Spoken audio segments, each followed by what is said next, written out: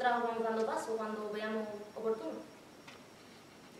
Pues bueno, ya para empezar sin más, eh, queríamos empezar hablando del sesgo de género que existe a la hora de, de la elección de la carrera. ¿no?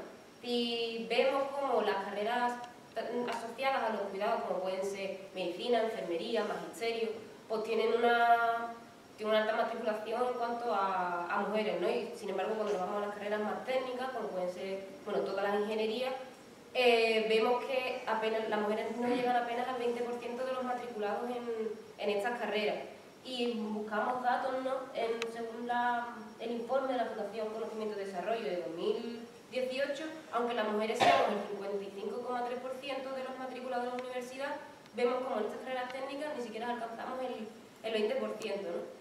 Estos son los datos actuales, pero nos gustaría saber cómo, decía, a la hora de la que vosotras en vuestras carreras, si es verdad si este sesgo pues, era el mismo, era mayor, y queríamos saber si la situación ha mejorado desde entonces. Y también sabemos que esto tiene una causa social por detrás y queríamos saber si, como nosotras seguramente muchas, os sentisteis presionadas a la hora de la elección de, bueno, de la rama o de la carrera que queríais elegir. ¿no? Y bueno, vamos, si queréis, empezamos de izquierda a derecha mismo y ya pues si queréis seguir para abajo, para. Yo que pertenezco a la carrera técnica, realmente ahora mismo en arquitectura frente a la ingeniería, que es verdad que sigue existiendo esa gran diferencia, en arquitectura esa diferencia ahora mismo no existe, no hay más o menos el mismo número de matrícula de alumnos que de alumnos. A partir del año 2006 se equilibra. Es verdad que antiguamente había muchísimas menos mujeres que hombres estudiando arquitectura. De hecho, cuando yo estudié la carrera, que fue en los años 80, 90, pues realmente pues teníamos como un 30% del de alumnado como un 30%. Ahora mismo eso no existe. No, y nada más hay que pensar que la primera mujer que estudió arquitectura acabó en el año 36. O sea que hasta esa época no había nadie, solo una alumna durante mucho tiempo, una única arquitecta en España. Hasta los años, principios de los años 50 solo hubo una arquitecta, Matilde Celay. ¿no? Entonces es verdad que todavía hay una brecha, no tanto en el alumnado, pero sí una brecha muy grande en el profesorado. Por ejemplo, en mi departamento, como seguir dando cifras, somos 70 en el departamento de proyecto arquitectónico que yo pertenezco, hay unos 70 profesores y solo hay 15 mujeres. Y por supuesto ninguna catedrática y solo una titular. Que son cifras que yo creo que son bastante significativas. Sí, bueno, vamos, en el área de, bueno, soy profesora de biología. Antes quería agradecer a Alma que, que haya organizado este, este encuentro, porque creo que es necesario este tipo de espacios, más que, más que mesas redondas enfren, enfrentadas, ¿no? entre comillas, pues encuentro, espacios de encuentro en la universidad para hablar de este tipo de situaciones de desigualdad, porque existe y mucha. Parece que no, pero ahora ya iremos desgranando un poquito la las distintas circunstancias. En, en, biología, por ejemplo, pues el número de matrículas de matriculadas de alumnos y alumnas más prácticamente el mismo. Eh, sí que es verdad, y he coincidido con la compañera, que a medida que vamos avanzando en la carrera profesional, va disminuyendo el porcentaje de mujeres que están representadas en, los distintos estamentos, lo que se llama la tubería que gotea. ¿no? Entonces hay distintos espacios de la, la licenciatura, o el grado, perdón, después el, doctorado, después el acceso a, un puesto de profesor, después o de investigador principal, o de, y entonces ahí vamos disminuyendo poco a poco. Yo creo que habría que analizar cuáles son esos hitos o cuáles son o por qué esas causas. Yo cuando, cuando elegí biología, bueno, había puesto medicina, no había puesto biología, medicina, química, no, jamás se me ocurrió una ingeniería, tampoco sé por qué yo creo que yo puse arquitectura, pero si no hubiera elegido la ingeniería, yo tenía claro mi perfil técnico, pero no, y no tuve ningún condicionante, la verdad, familiar ni de nada. Pues, pero no era lo, corriente, ¿verdad? Yo no, de hecho era, éramos un número muy inferior, ¿no? Se notaba, el aula era una aula mayoritariamente masculina y un grupito pequeño, que además tendíamos a agruparnos como en grupo de amigas, ¿no? pues yo tengo amigas que han hecho ingeniero en su momento y que eran también muy poco. Y ahora parece ser que, las cifras también se, han, se han, han, subido en ingeniería, no se han equilibrado, no se han igualado con arquitectura, pero, pero, han subido. Pero sí, evidentemente hay un sesgo a la hora de, elegir la carrera, ¿no? las más humanidades para la, para la mujer y más técnica y, y científico para los hombres. Lo que ya digo que biología especialmente es una carrera donde hay muchas mujeres y la investigación eh, también es un ámbito en el que hay muchas mujeres. Luego ya veremos los distintos niveles de investigación, quién llega a dónde, ¿no? Y eso lo comentamos ahora. Bueno, yo me gusta mucho este, este foro porque creo que vosotros sois los que vais a tener la solución a, a lo que estamos planteando aquí, que es por qué. ¿Por qué existe todavía en, casi ya en el siglo XXI, casi la mitad del siglo XXI, porque existe este sesgo en el que por mucho que estamos diciendo las mujeres y los hombres que la misma, deben tener las mismas oportunidades, etcétera, etcétera, no los tienen. Es que es verdad que no los tienen. ¿Y cuál es la solución? ¿Por qué?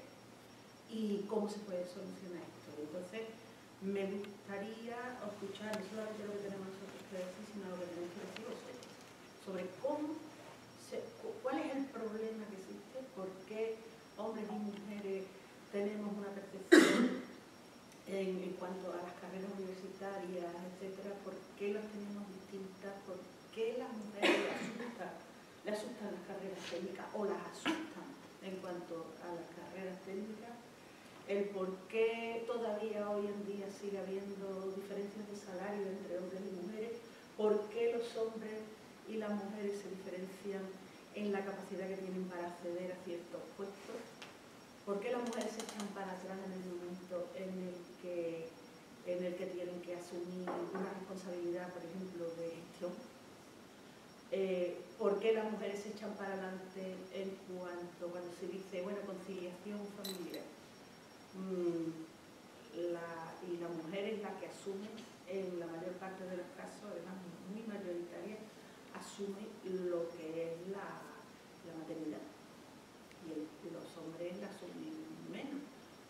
Esa, esas razones que ya las sabemos desde hace mucho tiempo, pero ahora se supone que estamos cambiando y no estamos cambiando. Me gustaría escuchar soluciones o ideas de vuestra parte. ¿Por qué ocurre eso? ¿Por qué sigue habiendo machismo entre gente tan joven como vosotros? Obviamente si estáis aquí es porque ya tenéis una premisa, que es que estáis interesados por el tema. Pero ¿cuántos de vuestros compañeros? Bueno, porque el, campo no está, el tiempo no está para tirarse al campo. Prefieren tirarse en el césped y estar allí trotando antes que venir a, pensar una cosa tan importante como. A mí me interesan más las respuestas que, que las preguntas. Y, y, y ayer viendo, me vaya a decir que soy tonta, pero bueno, viendo mi conga, mi conga es una barredora de estas automáticas que va por la casa. Yo tengo ganas, entonces, y yo he visto que es estupendo, con una cantidad de pelos de gato estupendo. Yo observando mi, mi conga, veo que hace así, y, vuelta, dando vueltas alrededor del mismo sitio, lo tiene limpísimo, pero no se atreve a meterse entre los entresijos de las cosas más complicadas o a enfrentarse y decir, oye, quítate tú que voy a limpiar por debajo. Y eso parece que es, es lo mismo muchas veces cuando tratamos estos temas. Damos vueltas alrededor de lo mismo, alrededor de somos capaces ni de meternos en los huecos ni de empujar a, la sociedad para decirle por qué está pasando esto y cómo hay que solucionarlo. Parecerá un poquito trivial, pero, a mí me recordó un poco la situación. Entonces, esta, esta es mi, circunstancia mi libertad.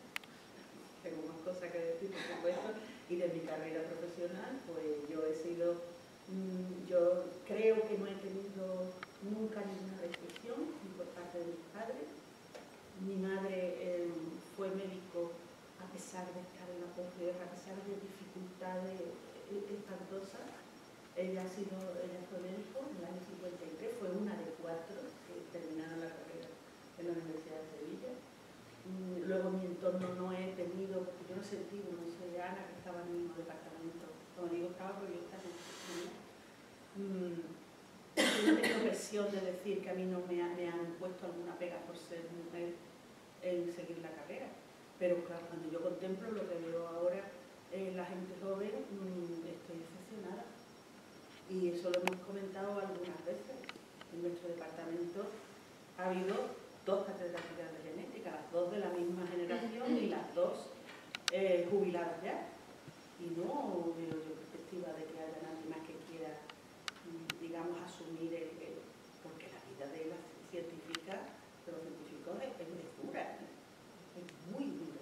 Entonces, ¿por qué las mujeres no, se, no dan el paso adelante mayoritario en hacer eso? Me gustaría escuchar más que nada vuestra opinión.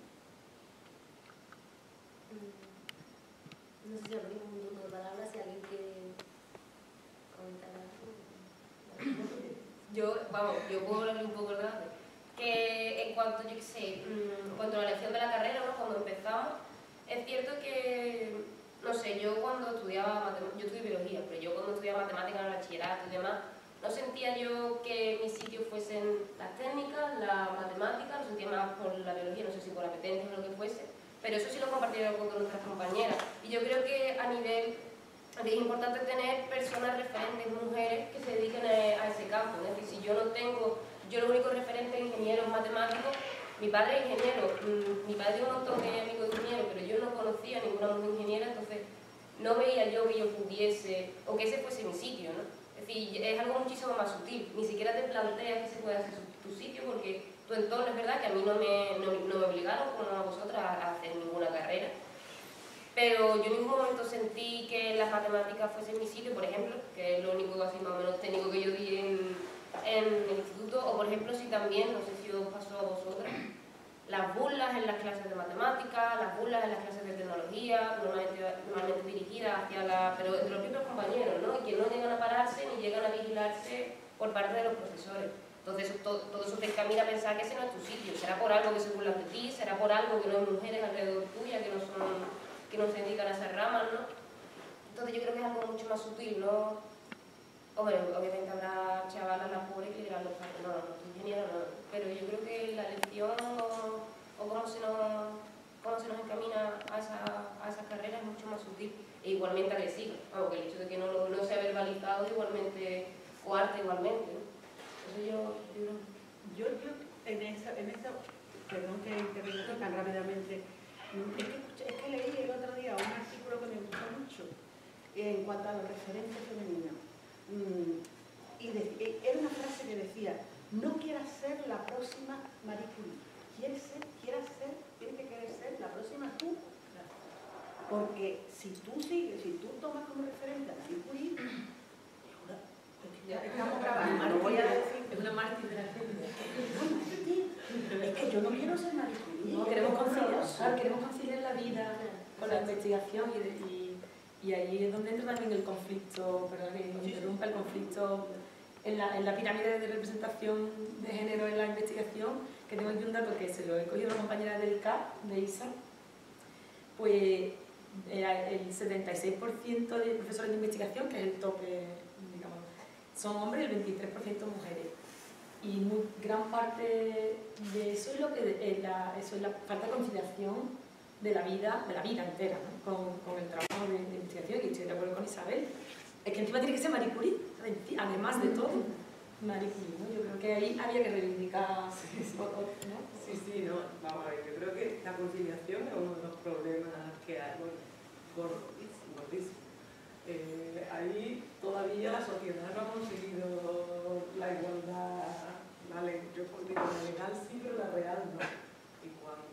Mientras tú no tienes como una carga familiar, que se llama carga por algo, porque tira de ti para atrás, tú normalmente no sientes esa desigualdad, pero a la hora de cuando empieza a ver, pues, formar una familia, ¿no? De hecho, muchas veces cuando dan los datos estadísticos dicen, no, se ha conseguido la paridad, pero ahora no miren la lista cuántos hijos tienen las mujeres que están en los determinados puestos, entonces ya las estadísticas se nos caen. Porque es que entonces ya es que no hay ninguna, o sea, ser madre, profesional y, o inve- investigador, tal, y llegar, eso ya es, vamos, contadito, contadito, con, con los dedos de la mano. Y ahí yo creo que hay una brecha muy grande que a lo mejor esta generación es capaz de resolver, en la nuestra, por menos en la mía, no se resuelve. Y con los datos que tú das parece que hasta ahora tampoco. En la carrera investigadora, en el área de biomedicina, ¿verdad? Todas compañeras muy válidas llegan al, a- también a la- al punto de partida o al punto más alto antes de ser dirigir un grupo, que será Mónica Hall o algo muy competitivo, y, ahí se estancan. Luego los, los que dirigen los grupos de investigación son hombres en su gran mayoría. ¿no? Pero hay que saber ahí por qué. Pues yo, igual, Igual, yo creo que ahí la razón sobre todo es esa. Bueno, de forma muy exagerada. también la, la mujer a veces es verdad que asume menos la- el liderazgo, es verdad, tenemos ahí que no sabemos tampoco bien por qué, asumimos menos liderazgo, asumimos menos riesgo. Yo a veces lo comparo con, la, con las clases. Yo tengo una clase de 100 alumnos y alumnas, mitad y mitad, y ellos, vosotros intervenís más que vosotras. Eso lo habéis visto también vosotras, ¿no? Eh, todo, todo eso, por supuesto, viene condicionado desde fuera, pero ocurre, ocurre además, mm, pero en otros ámbitos también, a vosotros os da más igual lanzaros y decir y dar ideas que a nosotros. ¿no? Y, eso nos pasa en muchos ámbitos, en asumir liderazgo, en intervenir públicamente, en, todo. Entonces ahí hay muchas cosas que se mezclan. Quizá ella ha apuntado un dato que a lo mejor en la educación primaria se debería de hacer más esfuerzo en educar en igualdad, que a lo mejor no hay, aunque legalmente sí, pero hay determinadas sutilezas en las clases, en las aulas, que ya van como, por un lado está la familia y la educación y por otro lado está la escuela, ¿no?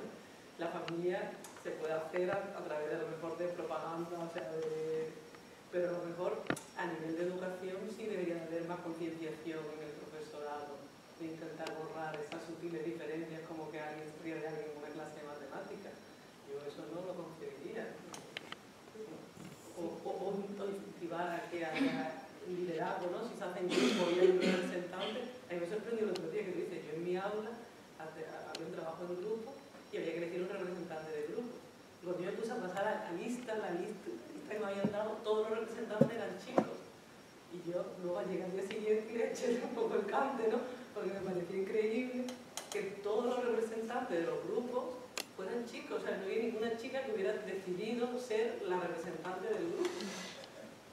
Y eso es triste, porque eso ya está a indicar que luego cuando haya que ser el, responsable del grupo de investigación, a lo mejor tampoco van a ser capaces de dar el paso para adelante o asumir un puesto de dirección. Hay muchas cosas.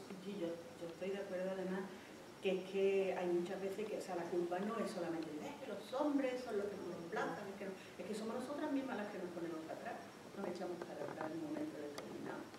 Y el caso de la, de, en la familia, la familia a lo mejor, no abiertamente, pero muchas veces subliminalmente, te, o sea, te, te digamos, te, te echan para atrás, ¿no? O sea, cuando te dicen, ay, ¿tú qué edad tienes ya?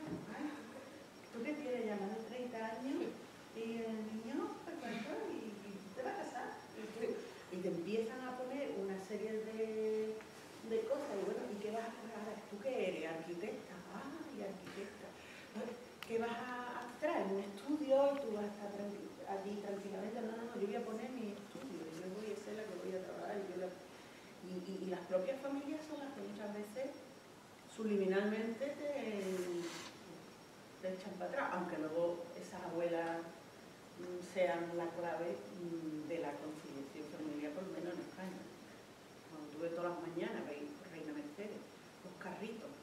buscar por abuela y abuelo, que en el que la, la madre, eh, lo importante no es que el padre esté trabajando, sino que sea la madre la que, la que vaya a trabajar, y por eso los abuelos tienen que pasear a la niña, ¿no? Por, acá un poco con esto que ya se le ve mano levantar, en los grupos de investigación también, consejo, en los grupos de investigación, en las reuniones que se hacen periódicamente para compartir resultados, por supuesto hablan más ellos que ella, se les escucha más a ellos que a ella, porque eso yo también, yo eso sí lo he sentido, cuando saben no, pero yo sí lo he sentido.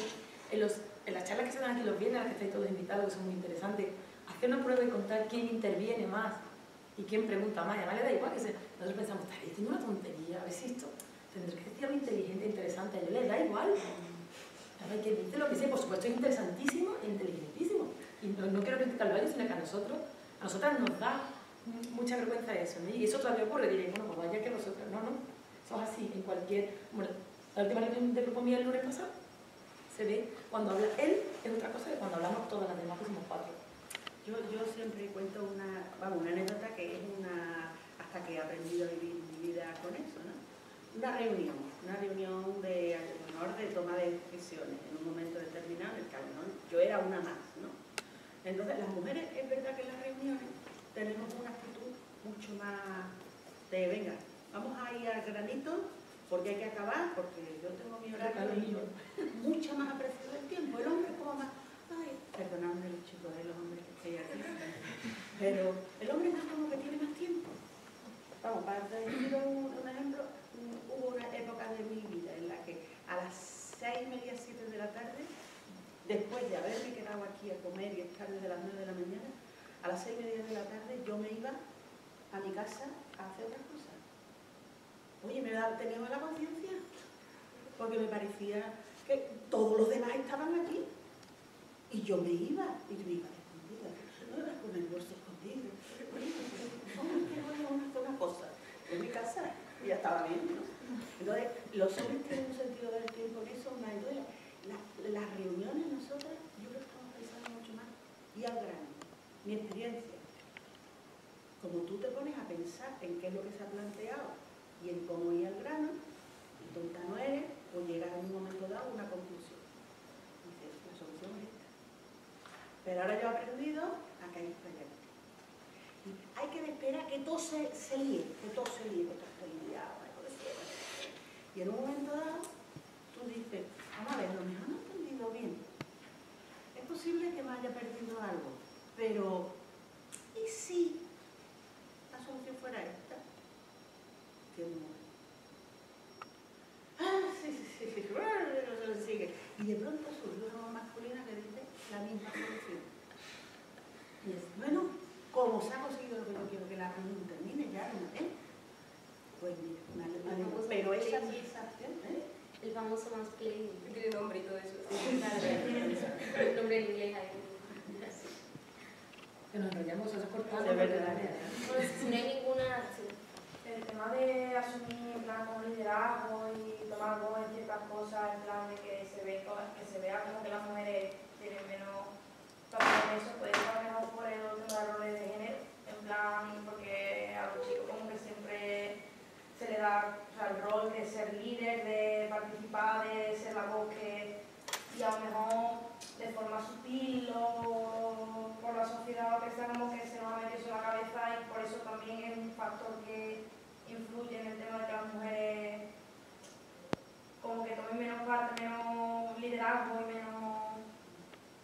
De hecho, nosotras el año, o sea, la semana pasada hicimos un análisis eh, de cara a la huelga del 8 y tal y cual, y una de las cosas de las que hablamos fue eso, que los roles de género nos hacen a nosotras, mm, nos repliegan a la esfera privada y los hombres siempre están en la esfera pública. De manera que nosotras somos las cuidadoras, ¿no? las que estamos en casa con los niños tal y cual, y los hombres están fuera, y por eso son realmente los líderes, ¿no? Y nosotras somos como... Lo que Claro, exacto. Como que todavía no hemos salido de la casa, por así decirlo. Vamos, eso se reproduce en los laboratorios. Tú ves quién cuida, quién organiza, quién cuida, quién repone las cosas que se van gastando y quién lo deja todo por medio, quién lo tira, quién hay que, me, que pensar tengo mi premio Nobel que me está esperando en la esquina. Eso también tiene un seno de...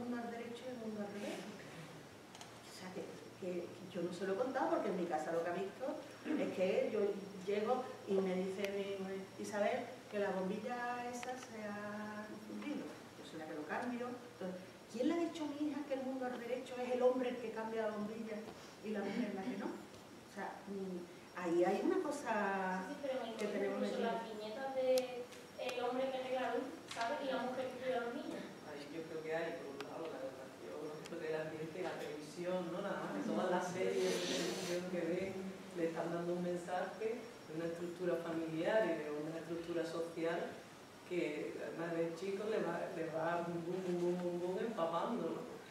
Y, claro, yo veo un mundo que de casa, pero aparte todo el- de sus amigos, de sus compañeros de clase y la televisión, yo por lo menos creo que también durante muchos años ha estado marcando series americanas y series japonesas, que ellos son de la generación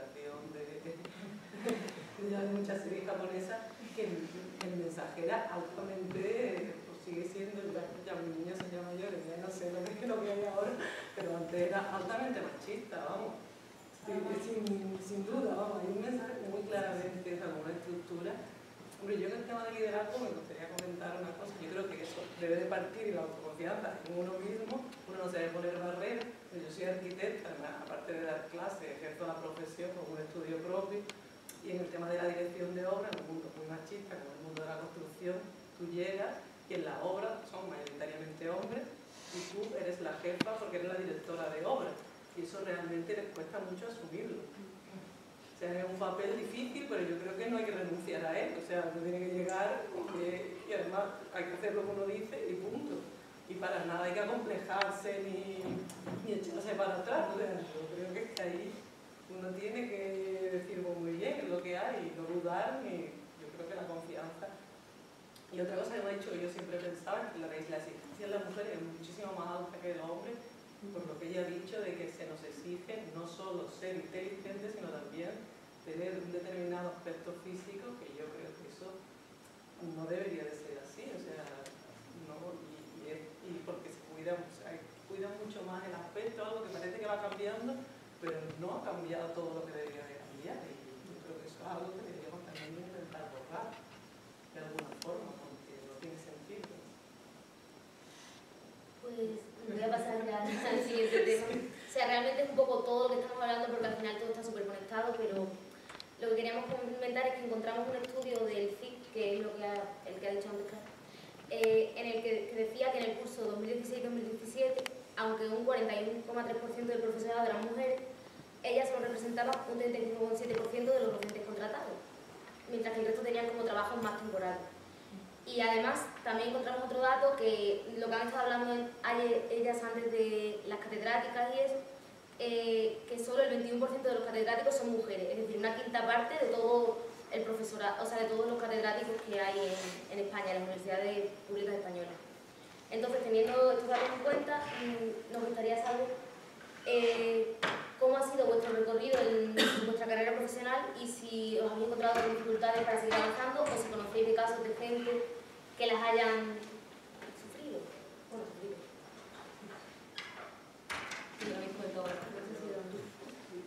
Yo, eh, bueno, con mi carrera la he compartido con la profesional, pero realmente nivel general. En el departamento, yo a nivel personal no he notado, pero sí es verdad que sí lo hay. De hecho, te conozco el caso de una amiga mía en un grupo de investigación que le invitaron a irse porque no era suficientemente productiva coincidiendo justo en los años que había tenido sus hijas. Y eso para mí me fue fortísimo cuando me lo contó. Si te invite a que nadie del grupo sea capaz de apoyar en un grupo de investigación porque tú, porque tenga hijos, no pueda ser igual de productivo, a mí ese dato me parece brutal. Y eso pasa en la Universidad de Sevilla. Sí. Sí, sí, pasa, bueno, en la Universidad de Sevilla muchas cosas que son dignas de... Hay cosas que son sutiles y hay cosas que no son ni sutiles. El, sí, el tema de, los embarazos y eso de compañeros en la universidad es una cosa que clama al cielo, facilidades para los permisos de maternidad. Ahora nosotros como, comité de empresa hemos conseguido que se, eso ya entré en el punto de conciliación, pero lo digo, hemos conseguido que, que se reduzca la carga docente después de haber tenido estudios, además de la, del permiso por maternidad, que se reduzca un poco el siguiente año un poco, una cosa es tener hijos ¿no? y entonces que se cree solo, ¿no? bueno, y para padres también, para hombres que se puedan reducir los dos por cuidado, que eso también hay que ir introduciendo.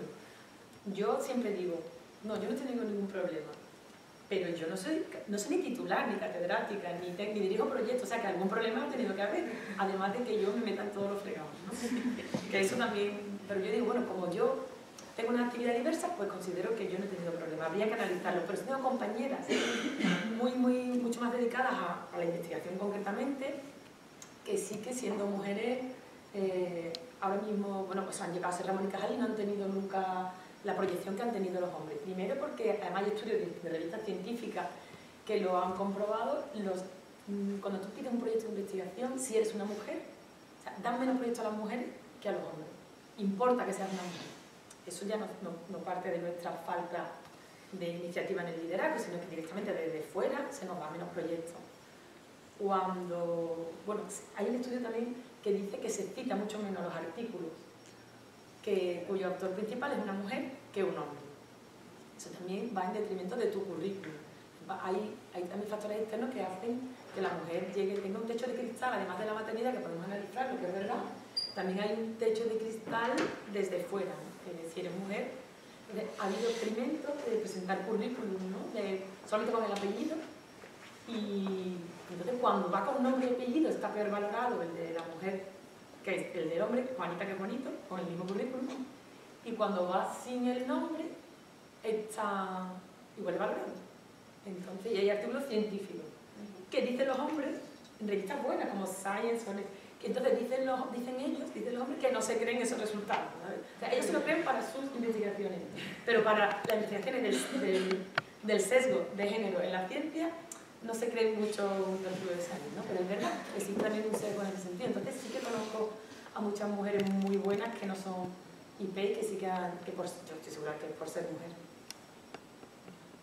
Pero yo no, pero en eso yo no creo, vamos, no creo, probablemente sea un factor, que sea simplemente porque no se lo dan, sino porque ya no dan el paso adelante. O sea, para que a ti te denieguen un proyecto tienes que haberlo pedido. Y es que muchas veces que no lo llegan ni a pedir, porque no sabéis el trabajo que es pedir un proyecto de investigación, un pedazo de trabajo, y no sabéis, además, cuando, alguien, yo he cogido, yo he dirigido ocho tesis doctorales. Con las ocho tesis doctorales han sido ocho noviazgos de muchos años. Porque nosotros establecemos, una, las mujeres tenemos una sensación y establecemos una relación mucho más personal. Si a mí me llega un, doctorando, una doctoranda por la mañana, con los ojos de haber llorado, bueno, de haberse pasado la noche, o sea, ¿no? Mm, mm, Yo no soy capaz de decirle, decirle, mañana quiero estar aquí encima de la mesa. No soy capaz. ¿Qué te ha pasado? ¿Qué te ha pasado? Cuéntame, ¿puedes contar? Mientras que los hombres, no son tan, no son tan, tan, digamos, personales como nosotros. Entonces, a veces, es que muchas veces asumir responsabilidades te supone un- una carga muy, muy fuerte y, y claro, a mí me parece que a veces de conciliación vamos a hablar después, Sí, entonces lo dejo, lo dejo ahí colgando. que con dos, para dos cositas. También estuvimos viendo que ya no solo a nivel de, yo sé, de, de docentes de investigadoras, sino que a nivel de la propia dirección y gobierno de la universidad, los equipos de gobierno de la universidad están totalmente ocupados por hombres. Vimos que de 50 universidades públicas en España, solo 4 tenían rectora. Y no supongo que hace 10 años mucho Y tiempo. reciente. Y, y muy reciente, es decir, o sea, elegida de dos años acá o lo que sea. ¿no? Pero ten en cuenta que para ser rector hay que ser catedrático, es el único O sea, requisito. O sea que Ya. ya, ya entonces restringen el, el campo en el que Está totalmente relacionado. está muy relacionado. Y eso y el equipo de gobierno también de la... Supongo también, supongo yo aquí el organigrama de la universidad, pero yo de canas, de canas, conozco pocas. Muy pocas también, no sabía el número, podría Pero el preparar Pero- los rectores y todo eso, sí, sí. De canas, o del, yo qué sé, o del equipo de gobierno de la facultad. de- los equipos, pero es verdad que el representante, el decano o director suele ser. No Aunque en la escuela nunca había una mujer directora eh, física. Sí, pero esta mañana he sabido que hay una la directora del colegio de Sí, la decana, es muy decana.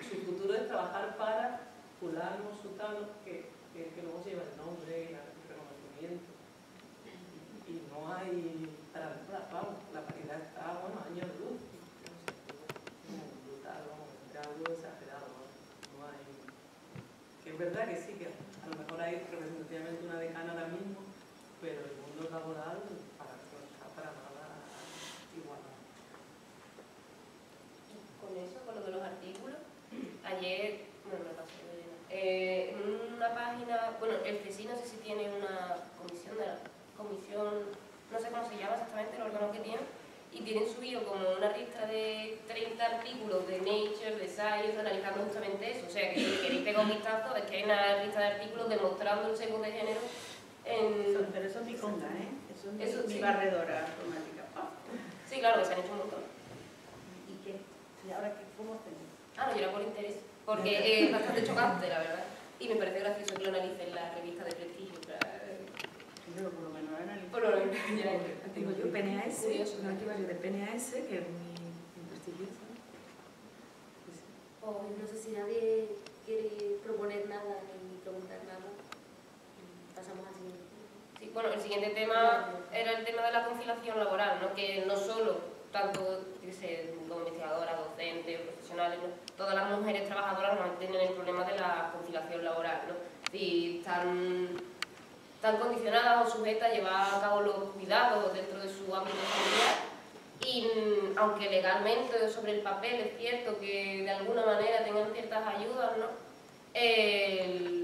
La verdad es que pues, o mucha- mm, muchas tristemente dejan los trabajos y muchas sus carreras se ven interrumpidas. Yo por ejemplo tengo una profesora de matemáticas en el instituto que iba para catedrática, se quedó embarazada y nunca más se supo. Y se, quedó, se quedaría embarazada a los 30 y la carrera como matemática pues que no es mal trabajo, ¿no? Pero que lleva para catedrática y había pensado toda su vida y lo contaba con bastante, con bastante tristeza, porque era lo que quería ser. ¿no? Entonces yo supongo que eso se dará mil veces, ¿no? Entonces, si podéis hablar de la conciliación laboral, porque sabrás más también de legislación o cualquiera de vosotros. Lo que he visto es que, hombre, algún pasito pequeño se va dando, ¿no? De ayuda, es verdad que con el paso de los años algo más hay, pero realmente ahora mismo pues no, hay esa igualdad, ¿no? Yo ahí creo que los hombres son los que tienen que dar el paso en asumir, ¿no? Pues el cuidado de los hijos, bueno, ya, ya he contado en mi casa, ¿no? Tuve fotos de ejemplos particulares, ¿no? De que, Bueno, chupa. que, bueno, que no me ha comido los enchufes. Eso no debería ser una anécdota, ¿no? No, pero vamos a ver, no solamente es que ponga los enchufes, vamos a ver. Mm, Yo he tenido mm, dos maridos. Uno de ellos científico, que es lo contrario de lo que yo siempre le digo. Yo siempre digo a mis alumnos, mira, siempre que sea científico. En mi caso, el científico que era compañero mío de curso, que hicimos la tesis juntos, que nos fuimos juntos al extranjero, que vivimos 17 años juntos, no tuvimos hijos. Pero mm, yo cuando leí la tesis, yo quería haber dicho, yo quería haberlo dedicado y haber, dicho, haber escrito, esta tesis se realizó gracias a mis padres y a pesar de mi marido. Porque no Y eso me di cuenta después. Digo, soy idiota, si somos iguales y no he logrado superar esto, ¿por qué? Porque luego pregunto a, a vosotros, ¿por qué era yo tan idiota en aquel momento diciendo los dos iguales? No conciliamos, no conciliamos. Yo llevaba la casa y además llevaba mi trabajo. Y, sin embargo, el, el que, el que tengo ahora, el padre de mi hija, es una persona que siempre se ha ofrecido a todo. O sea, él es el que hacía la comida, él es el que compra y sigue comprando. Él- cuando yo le decía a mitad, de agosto tengo que irme, quiero irme a un, a un congreso, ¿vale? Y quiero hacer tal cosa y me han ofrecido ser directora del departamento, te parece, mira, y soy vi- vicedecana y ahora tengo la- lo que tú digas. O sea, que también el, el, el coger la pareja adecuada y tener suerte que te, te resulte así, pues eh, es importante. Mm, Cuando ahora se dice de la conciliación familiar, de las, las, eh, los permisos de paternidad, vamos a ver, los permisos de paternidad hay que cogerlos tranquilamente, porque yo escucho a compañeros nuestros decir, ¡ay, qué bien! Conciliación familiar, permiso de paternidad. Voy a escribir todos los artículos que me dé tiempo a escribir mientras que estoy cuidando al niño. O sea, ¿se creen que ese tiempo? Nada, es que estás en casita, y en casita tú qué haces? Escribir artículos, no tienes que ir al laboratorio. Y no sabes que, no, estás en casa y tienes un niño que cuidar, es que no tienes tiempo ni de peinarte. Pero esa, esa sensación de que mm, teniendo más, dándole más permiso de paternidad a los hombres pues eso hay que vigilarlo muy bien. Tú que estás más a ver, yo en el mundo laboral. Sí, lo primero es que yo tampoco mm, tengo problemas de conciliación porque no tengo carga doméstica de, de ningún, de ningún tipo. Hombre, llegar a tenerla a lo mejor de mayores, pero de momento no. Y, pero sí que, como estoy rodeada de compañeras, eh, lo que ocurre en los centros de investigación es que las compañeras que tienen hijos a las 5 de la tarde se, se van a casa. Que diría, pues bueno, tampoco es una hora mala, no es verdad. Lo que pasa que la investigación eh, práctica exige a veces muchas horas de trabajo. Y hay días que tienes que estar 12 horas y hay días que puedes ir a las 5. Bueno, ellas desde que llegan están que no miran ni parados, pom, pom, pom, porque a las 5 se tienen que ir. Ellos, yo les conozco también a ellos con hijos y ellos no hacen lo mismo. Eso es una diferencia. Mm, hay que, tiene que haber conciliación laboral, bueno, también a los congresos de investigación. Ellas, el tiempo que están criando hijos, no van a congresos de investigación de ci- científicos. Mm, Entonces, necesitamos medidas de conciliación, sí, pero ¿por qué relacionar esto, con, como decimos ahora, con la condición de mujer? Claro, sería para nosotros, desde el punto de vista sindical, ¿no? que estamos pidiendo medidas de conciliación que en la Universidad de Sevilla no existen o no existían. Ahora está el vicerrectorado de Igualdad, que la vicerrectora es Ana López, que ha implementado un plan de conciliación, y entonces, bueno, pues están las guarderías, está... no vamos a lo que tenemos que ir, que es a las horas de dedicación de verdad, a las horas de trabajo, que es donde había que, había que exigir reducción de la carga docente, etcétera, etcétera, que es lo que nosotros estamos pidiendo. Eso sí es conciliar con la vida, eh, ahí donde hay que ir, pero nosotros no queremos vincular a la condición de mujer. Queremos que sea, que se, que sea para los dos géneros para que, que se elimine eso. Que luego en casa hacen otra cosa, yo ahí ya no puedo, eso no lo puedo vigilar, no, no se puede certificar, pero, pero las medidas de conciliación deben ser para. Mira, yo hay una frase que es que es muy femenina. Cuando, tú, cuando pides algo y dices, ah, bueno, que mira, que a ver si tú, déjalo que ya lo hago yo. Porque lo hago más rápido y más sin... sin. Muchas veces los hombres suelen poner problemas. Ah, oye, mira, ¿podrías tú llevar al niño esta tarde al, al médico? Es que, la respuesta es que, que termina diciendo la mujer. Esa, frase deberíamos tener a, abolirla del lenguaje femenino. Pero es que es así. Y, yo no sé cómo hacer eso, de verdad que es que yo estoy poniendo mi, mi duda, pero quiero respuesta por parte vuestra de lo que vosotros sentís todo es presión de amor propio, porque al final tú aceptas lo que crees que mereces. Entonces tú crees, yo creo que cuando tú estás con alguien y ese alguien, aunque no te dé lo que tú le estés dando, tú piensas en tu cabeza, no es que él es tal cual, no sé qué. Entonces tú aceptas eso y aceptas que te trata de una forma que tú, en un principio, si tienes trabajo con un mismo trabajo, no, la carga debe ser igual. Entonces es verdad que a él nunca le han dicho, oye, tú tienes que encargar de esto, pero tú también lo estás aceptando. Entonces, ese es el problema en que nosotras como mujeres debemos decir, no, si tú quieres estar conmigo, al igual que tú tienes X y Z, yo tengo esto. En plan, yo soy tan madre como tú, entonces tiene que haber una igualdad. Y luego, en cuanto al tema del embarazo, es como, tenemos muy desarrollado el sentimiento de abandono, de lo vamos a abandonar, no nos importa. Y eso a los hombres jamás se le ha... Eso para un hombre es como, no, yo me voy a trabajar, voy a hacer mi ingreso, voy a ganar dinero para, para suministrar a mi familia.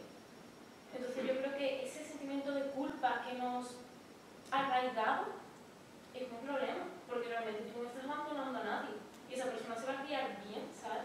Y si tú le dedicas menos tiempo, a lo mejor él le dedica más tiempo.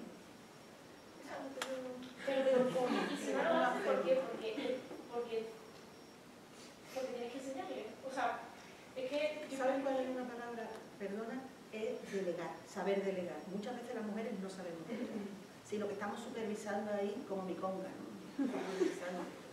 Y eso también es- hay que aprenderlo, ¿eh? Hay que aprenderlo que si tú das una, que si tú le dices al cambia el pañal, tú luego no puedes decir, a ver cómo lo has hecho. Porque también somos mari y mari. Hay que saber delegar. Y si saber delegar significa que a lo mejor las cosas no se hacen a tu gusto, que somos muy perfeccionistas también. Entonces, bueno, es decir, yo creo que son dos, dos maneras que van en, dos formas de solucionar lo que van al, al mismo punto, ¿no? Legalmente. El tema de los permisos de paternidad, de maternidad, que sean iguales, que sean, que, es decir, que, estén, que, que dispongan del mismo tiempo para criar a los hijos. Y luego ya, eh, socialmente, ¿no? culturalmente, que nos, que nos deshagamos del sentimiento de culpa por no cuidar a los hijos. Bueno, no tienes que estar todo el día pegado para que salga criado, ¿no? O sea, cría muchos hijos siempre sin que esté la madre pegada, que ahora tenemos, bueno, yo no, pero las mujeres que son madres pues tienen ese sentimiento de culpa, ¿no? O, o a los hombres hacerlos mm, sentir responsables, realmente responsables de la crianza de los hijos, porque yo, yo sé, yo me pongo en su, en su lugar cuando le da permiso de paternidad y no es como si le estuviesen diciendo, mira, ahora tú te tienes que poner a criar al hijo, pero de verdad, en serio, ¿sabes? Y que el, el de que a ti te den el permiso de paternidad, pues debería darte, no sé, un toquecito, ya, pues yo tengo que criar al hijo, ¿verdad? Si no tengo que esperar o dejar hijo ahí apartado cuando venga la madre del trabajo que no sabe permiso, o que se encargue de hacer todo el resto, ¿no? Yo creo que son dos maneras de atajarlo, ¿no? Tanto legalmente para que se pueda luego en casa mm, hacerlo. Y es un trabajo de hormiguita, es decir, es tú ponerte con tu pareja, o, o, o, o, que es cierto, supongo que muchas mujeres podrán, mira, lo hago yo porque está harta de trabajar, de volver, pero bueno, de trabajo de hormiguita, que a poquito a poco usará. es cierto que yo entiendo que va lento porque las mujeres que están trabajando están muy malas. Inmovilista, creo yo. Que la sociedad es inmovilista y entonces hay que, los pasos son van siendo muy pequeños, porque hay que ir contra todo el conjunto de la sociedad, ¿no? Porque la, la, influencia es lo que ella dice, ¿no? De tú te sientes, pero tú a lo mejor no te sientes culpable, pero a lo mejor hay por ahí alguien que te va diciendo, deja al niño solo, y no sé qué, y no te da pena, y tú dices, bueno, pues, muchas veces tienes que ir luchando contra todo lo que te van diciendo un montón de, de personas, ¿no? De, a veces subliminalmente, ¿no? Entonces yo creo que la lucha es difícil porque es contra un, un aparato que está muy establecido, ¿no? Además que, es que en el cuidado de los hijos, últimamente, vamos a ver, a mí mis padres nunca me han ayudado a estudiar. Y ahora cuando yo tengo amigas que me dicen, es que no puedo ir al teatro porque mañana tenemos examen de matemáticas.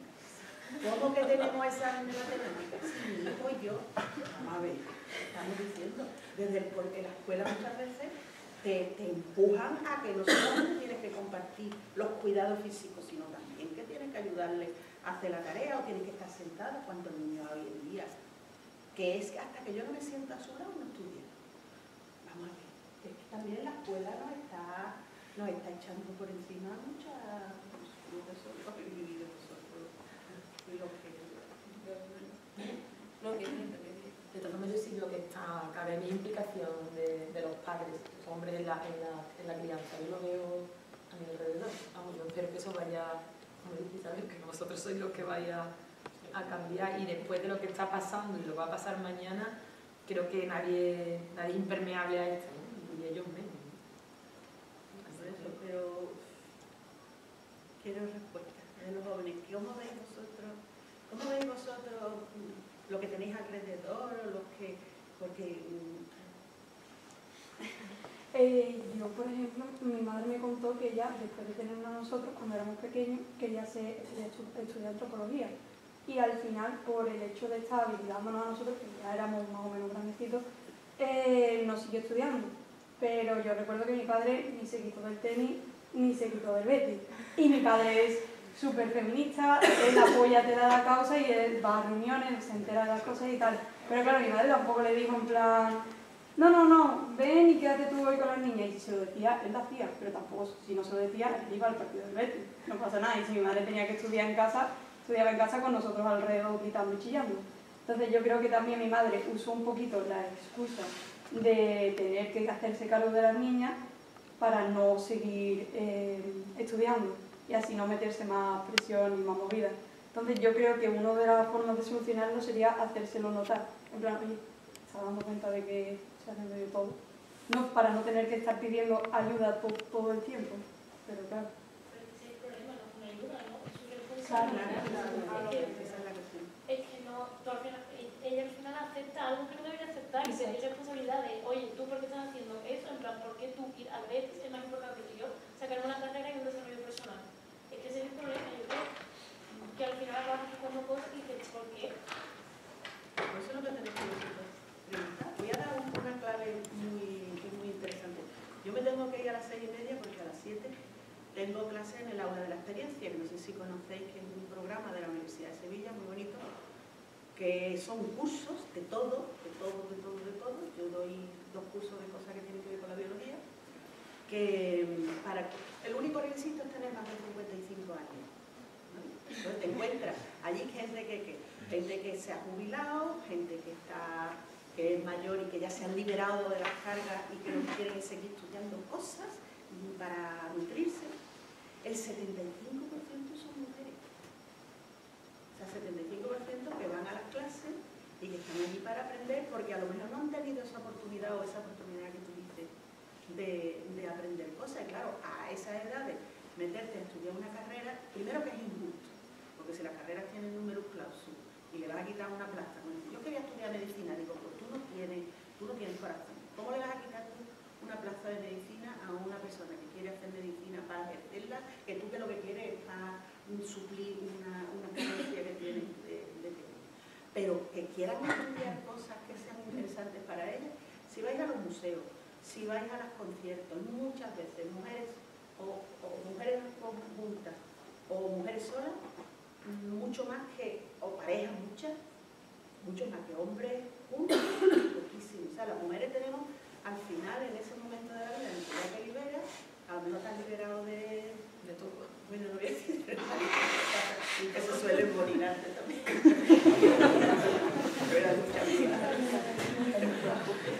Pero este que sea.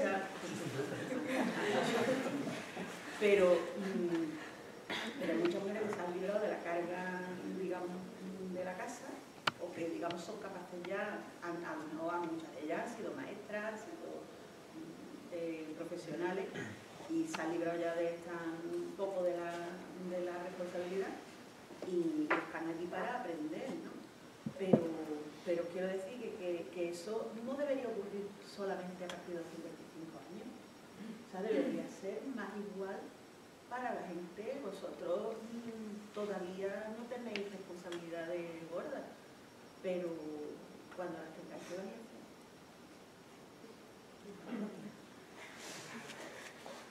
En la elección, elegir, ¿no? Por ejemplo, la elección para un científico y una científica, la elección de pareja es fundamental. ¿Verdad? Yo he contado mi caso, pero elegir a alguien que comprenda tu dedicación, porque de verdad que la ciencia es muy dura y, y una profesión técnica como la tuya es durísimo, durísimo. Tiene que ser alguien que te comprenda. ¿No? Pero en mi caso no tengo mucha suerte. y verdad que es difícil, es difícil. Pero lo he hecho para adelante, pero se pueden echar para atrás. No, no tiene que haber trabas.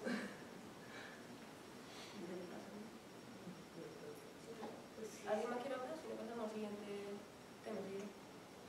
¿No? Estamos aquí mezclando un poquito. Sí, sí, claro, claro, sí. Yo por continuar el debate. Vale, pues mm, queríamos preguntaros también por si vosotras pensáis que el reconocimiento del trabajo de las mujeres dentro de la ciencia o dentro de carreras técnicas como puede ser arquitectura y tal, mm, es justamente reconocido, porque bueno, a lo largo de la historia pues, el de muchas mujeres ha sido invisibilizado, despreciado, o los, los hombres han tomado crédito de él, como es el caso, por ejemplo, de Rosalind Franklin. Y queríamos saber si vosotros pensáis que sigue siendo igual, si ha cambiado, por.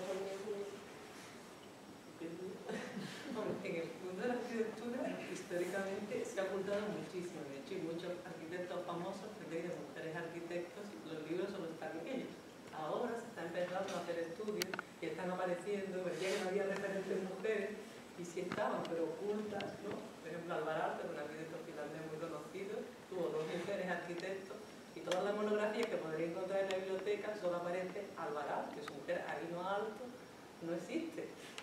O sea, empieza a existir ahora. Eso ha cambiado. Hombre, algo ha cambiado. Ahora hay muchas parejas y normalmente firman los dos. Pero no hace tanto tiempo, creo que fue en el año 2005 o algo así, que fue el premio Pritzker, que es como el Nobel de Arquitectura, se lo dieron a un estudio chino y solo se lo dieron a él, y era un matrimonio que trabajaban juntos. Y de eso hace a lo mejor 10 años. O sea, el reconocimiento sigue siendo mayoritariamente masculino. Y Robert Venturi, con el que ganó muy famoso, le dieron el Pritzker a él, a su mujer, en los años 70. Han- Llevan desde entonces reclamando que se lo den a ella también, porque siempre han trabajado juntos, han escrito juntos, y a Denise Escobrao no les ha reconocido nunca su igualdad. Hasta casos tan exagerados como estos. Yo creo que es algo que también, o sea, es que hay mucho que, o sea, yo creo que va a costar mucho llegar a la igualdad plena porque hay mucho que barrer, es como si hubiera mucho polvo debajo de la, la, la, y es que hay que sacarlo todo y va a costar mucho sacar todo eso a luz, ¿no? Entonces yo veo que algo se va haciendo, lo mismo que en la conciliación, pero queda muchísimo, muchísimo por hacer. Hay una, una frase, quizá por mi edad me, me gustan las frases, que dice, ni ella musa, ni él genio. O sea, cuando se dice un genio, detrás de todo hombre importante hay una mujer, y yo diría, estupefacta, sorprendida, un gran hombre, ¿no? Pero ni ella es musa, es que él, ella, él, ella lo inspira. Y él, bueno, No están trabajando. No, no, trabajamos para, para. Lo que pasa es que pasa lo que ella ha dicho, ¿no? que hasta ahora la sociedad se ha, se ha tendido a visibilizar, eh, de hecho sigue pasando. Bueno, el otro día tuve una reunión, era un tema profesional, en un estudio, y era una pareja, y le dijo de la promotora, yo, pero tu mujer no la conozco, la mujer siempre estaba en el estudio. O sea, él solo va siempre en la reunión, o sea, vida pública la hace, eso sigue pasando, y ella se queda en el estudio pues, dibujando. Eso es lo que hay que intentar borrar, ¿no? Yo creo. Que, que- que eso no, es musa, o sea, ella es la que trabaja, no es la que produce más, ¿no? Pero al final él se lleva el premio porque es el que la cara, porque es el que se muestra como la persona, ¿no? Que, y el nombre que suena, porque es el que la gente conoce. No, yo creo que por nuestra parte como mujeres tenemos que luchar contra eso y, bueno, y ellos nos deben ayudar, ¿no? Una, aspecto hay una cosa que es marginal, pero que, que, que siempre lo, no sé si soy consciente de que el sistema de los nombres, de los apellidos español es de las cosas más progresistas que hay. O sea, en el extranjero, la mujer cuando se casa cambia de apellido. Vamos a yo soy Isabel López por mi padre y Calderón por mi madre. Y eso desde que nazco hasta que me muero. Cambia- en el extranjero las mujeres van cambiando su nombre. Desde el punto de vista de la ciencia es un rollo, porque claro, tú empiezas publicando, si te casas varias veces, pues empiezas publicando cada vez un nombre distinto, no hay quien te siga la trayectoria Claro, y además, o sea, en, Estados Unidos, por ejemplo, tú te llamas no sé qué Smith, ahora te casas con un pues entonces eres Paul Smith, ahora te quitas el Smith y te pones Paul, ahora vuelves a ser Smith Paul, porque te has separado del Paul y está el, rollo, vamos a reivindicar el sistema de apellido que tenemos, que no se cambie, que es fantástico, no sé lo que opinas tú, tú eres más, pero No me igual el apellido, la verdad. no progresista. No, es decir, era que, que sí, que lo tenemos, no que no, que lo tenemos. No, eso sí, Tenemos que es bueno, que que tenemos. Sí, pero que nos juntemos con eso, como por ejemplo, no, ahora vamos a cambiar o no. Ah, no, no, yo no estoy de acuerdo, no, no, no, yo no estoy de acuerdo. Ahora vamos a poner el de la madre de la Claro, el de la madre de la Genéticamente- la madre de la Genéticamente no conviene, hay que saber de dónde viene cada el nombre, el apellido. Y aquí también, aquí los portugueses pueden elegir el apellido que ponen primero, si el de la madre o el del padre. Pero el que pasa a la siguiente generación es el del padre. No pero Te lo digo, te lo digo porque a mí me parece que mira, primero, ellos ponen primero normalmente el de la madre y después el del padre. O más progresista todavía el español, pues no, porque el hijo que recibe es el del padre de su, de su madre. Pero aquí se puede elegir. ¿sabes? No, Aquí se puede elegir. aquí, Aquí te puedes poner de la madre antes si quieres. ya, pero se me parece fatal. Ah, que no hay nada que decir. Yo tenía un alumno y yo decía, uy, Federico Valverde Albacete, claro, hijo de, de Valverde, del señor Valverde, ah, el señor Valverde, ah, mira, pero si este era no sé cuánto. Y Ah, Albacete, ah, la que me dio biología fatal en el instituto. A mí me parece eso más, no sé. Que no puede construir unas árboles cotillas. Yo puedo poder vivir ya con Nosotros los genéticos nos gustan los árboles genealógicos. Ya antes me. Ahí, ahí, vamos, que está bien.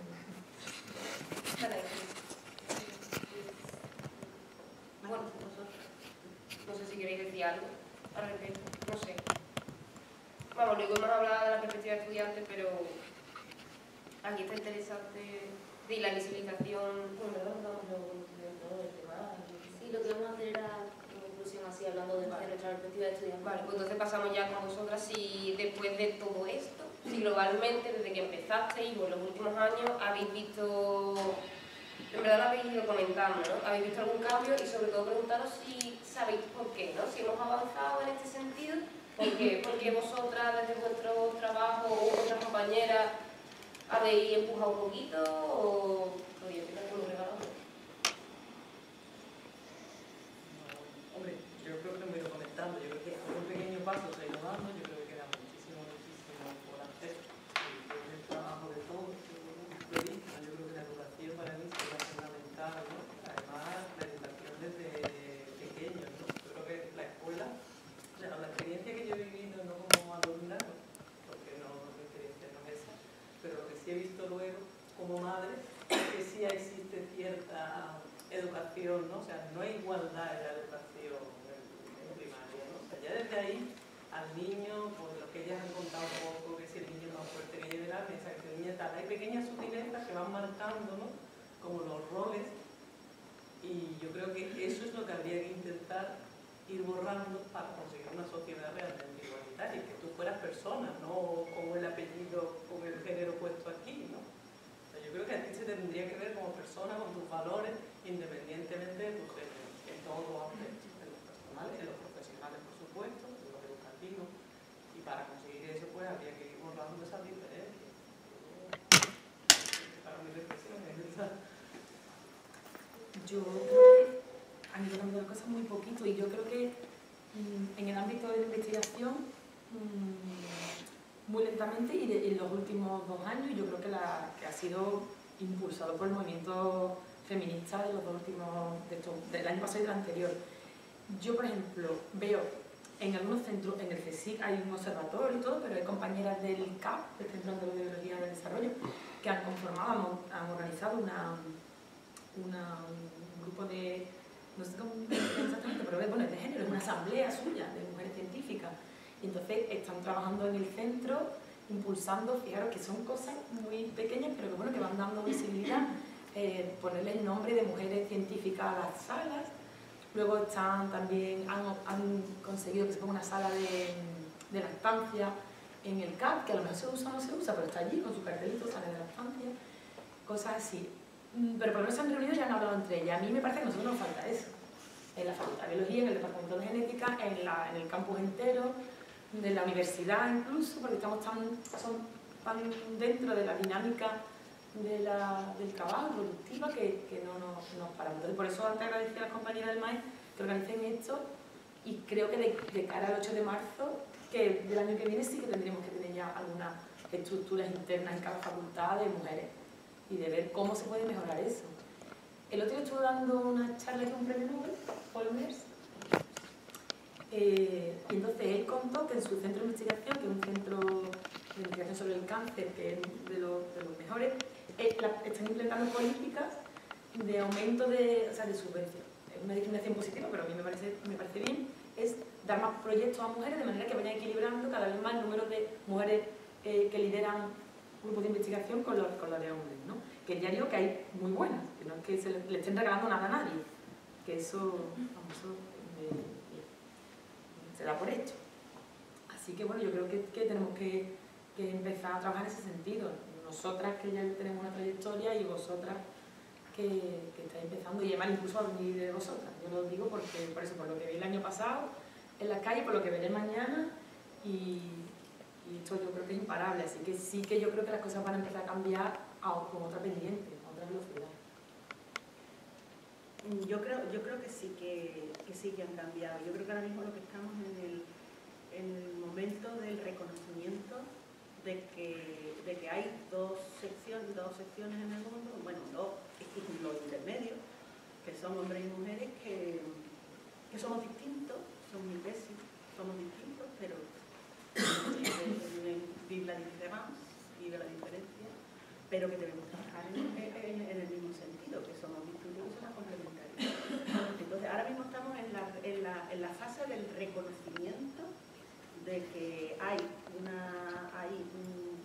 un rol distinto, que somos distintos, pero que además se le asigna a uno de los, de los sexos de los géneros un rol y al otro otro, que no tiene por qué, no tiene por qué ser así, sino que tenemos que ser complementarios. La cuestión está en cómo esto se implementa para que esa diferencia en roles que hay eh, se anule y que no haya, no se discrimine por razón de eso, sino que eh, sea por mérito.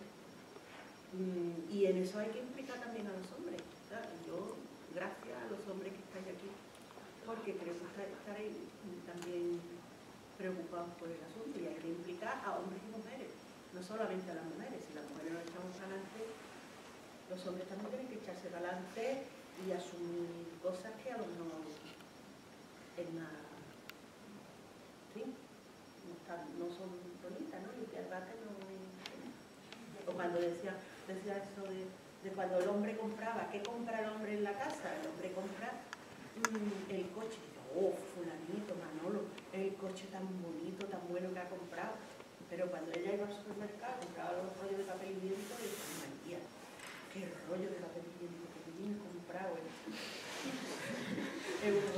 Yo, verdad que, que, que creo que son necesarios los espacios en los que nosotras analicemos. Primero, eh, asumamos que eso existe, porque es verdad que muchas compañeras que, que creo que todavía piensan que no existe o que a ellos no les afecta. Cuando empiezas a tirar del hilo y dices tú, "Pues porque yo también, ¿no? Entonces, es verdad que lo que dice Isabel, un periodo de reconocimiento, un periodo también de autorreconocimiento, de que tú estás afectado por eso, un, un espacio para compartir nosotras eh, nuestra realidad y luego hacer propuestas sobre, pa- para cambiar ahora mismo sobre nuestra vida más inmediata, ¿no? Aparte de que con la compañera de acuerdo que la educación es fundamental, pero que no hemos hecho ese, ese periodo de reflexión en la universidad para decidir vamos a bajarnos de este carro y vamos a construir nosotras nuestro propio carro, ¿no? ¿Cómo, hacia dónde?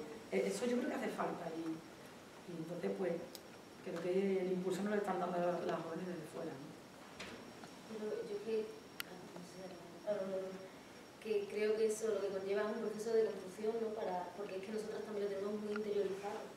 Y para conseguir deshacernos de, de esos roles que nos han impuesto, pues necesitamos construir. No sé qué quería contar. Con eso que estaba hablando, yo no estoy tan de acuerdo, porque ahora nos van a quitar muchos derechos fundamentales. O sea, es decir, Como que sea, cuando peligra, en Parlamento de Andalucía, cuando peligra la ley de violencia de género, cuando peligra la ley del aborto, cuando juegan con tu cuerpo y encima son hombres que ni siquiera, o sea, la legislación la hacen hombres que no tienen idea de lo que es ser mujer. A mí me parece que tú no puedes legislar si no sabes a qué te enfrentas, ¿no? O sea, porque, porque hay un hombre tiene derecho a decidir sobre mi cuerpo. Y un derecho fundamental me parece mucho más terrible que cualquier desigualdad en otro sentido. Yo, es decir, yo no, mm, yo no pienso que hayamos avanzado pasos agigantados, pero si se enfadan será porque algo hemos hecho. O sea que por lo menos eso no, no lo llevamos, ¿no? es decir, la reacción porque algo hemos hecho, muy peligrosa, por cierto, da, da miedo, pero que si están cabreados es porque algo hemos hecho. Y luego respecto a eso, bueno, es que es un trabajo muy hormiguita, ¿no? De tú cuestionarte todo el día, de que los hombres se cuestionen. Yo sé, para que nosotros demos el paso para adelante, ellos tienen que ir un poquito para el lado, ¿no? Es decir, si nosotras queremos hacer algo es necesario que por lo menos algo de vuestra parte se ponga, ¿no? Y es muy complicado y hay muchísimas ideas. El reconocimiento mismo ya es bastante potente, ¿no? El, el poder verbalizarlo, el poder decirlo, el, el que la gente se entere. Eso ya es bastante potente. Después de eso ya viene lo que es la solución. O sea, primero, yo creo que todavía no. Es cierto que estaría todo el mundo enterado del problemón que tenemos, pero cuesta. Y que eso sí, que es peligroso, pero bueno, es porque están cabreados. Así que. Ante eso hay cosas en las que se han conseguido que de ahí no nos vamos a mover. De ahí no nos vamos a mover y vamos a requerir, a requerir toda la ayuda que es posible para que de ahí nos vamos. Y ahora, la cuestión es también avanzar. Avanzar. Y el avanzar, el avanzar en educación, que a mí que la, educación me parece fundamental, el avanzar en educación eso es lo que a mí me preocupa más. ¿Cómo educamos a, a- las distintas generaciones y vosotros tenéis la clave de la vuestra y de la que habéis vivido, de vuestros padres? Entonces, ¿cómo avanzamos en eso para, para, para que se den pasitos adelante, ¿no? Para que los hombres no les dé vergüenza eh, quedarse, o sea, lo que, las cosas que hemos comentado que trabajen eh, hasta las 9 de la noche sin problema, mientras que la mujer tenga más vergüenza. ¿Cómo, avanzamos en eso? Porque parece que tener una mentalidad tienes que cambiar todo, ¿no? Porque tienes que cambiar el hecho de que, eh, por un lado, tienes que alimentar el amor propio y que la mujer eh, se crea que merece las mismas oportunidades que el hombre.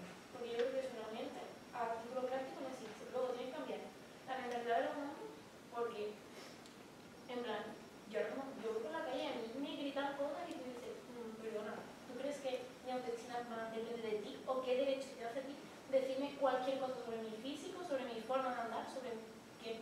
Ah, ¿y por qué yo tengo que aguantar eso? En plan, ¿por qué? Porque un hombre pensaría que a mí me supone un halago o me, supone, me tiene que suponer una reacción. O sea, ¿qué derecho tiene para decirme a mí nada? Y eso está súper arraigado, eso se, y se ve súper normal. Y a mí eso no me parece desde un punto de vista, o sea, es súper absurdo si lo miras desde perspectiva. Y te quitan todos los roles, ¿no? En plan, o sea, ¿qué pasa? Mi, mi- solo valgo por mi físico y los hombres determinan si valgo o no. Y eso al final te acaba cagando, quieras o no. O, y encima yo, claro, si mides dos metros, pues, ¿qué te voy a decir yo? Además, también es lo que buscan, ¿no? Porque al final buscan una relación de ti. ¿Eso cómo se cambia? ¿Sabes? Vosotros no solución,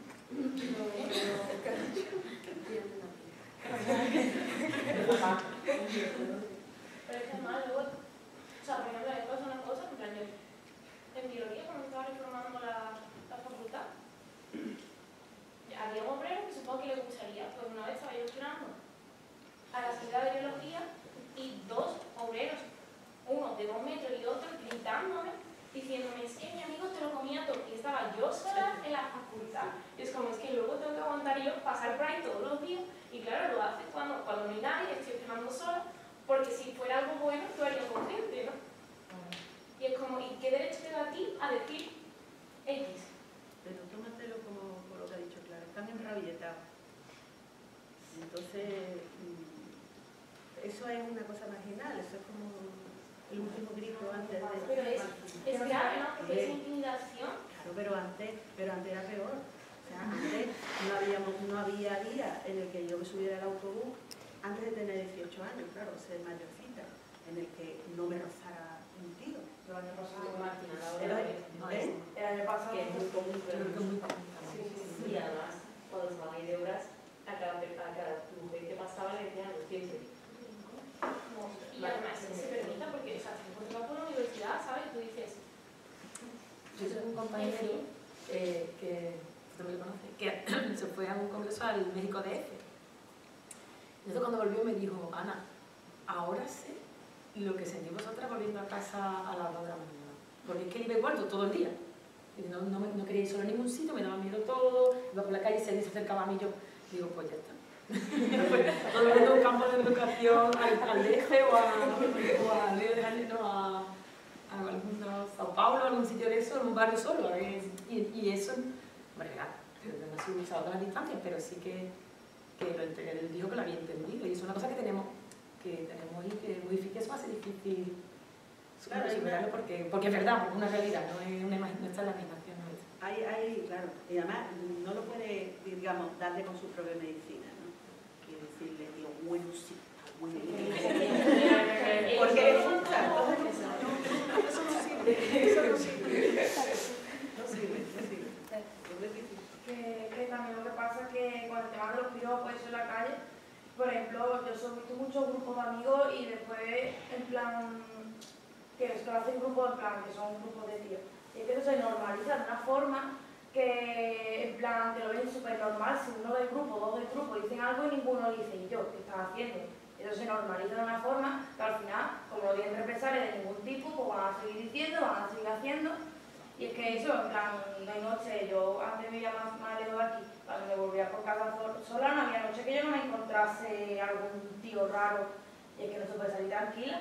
Es que toqué con las llaves y apretaba a ver si... Y es que eso, o sea, o sea, cualquier aspecto, en plan, cualquier comportamiento de, de decir a alguna tía o de hacer algo raro en la discoteca, de tocar un culo, cosas así, cuando se normaliza, ay, déjalo que es tonto, las narices, en plan, que tengan sus represalias, ¿no? Es que se dice, ay, no, es que mm, está borracho. Pues no, tío, eso es que no se tiene que dejar así. Porque al final estás desvalorizando a la persona y, Y invalidando sus sentimientos. Y luego eso, yo creo que afecta a la eficiencia. Y no hemos hablado del acoso sexual en la universidad. Y vamos a hablar, bueno, podemos hablar si quieres. Vamos, el siguiente punto, que vamos. Yo lo que iba a decir bien,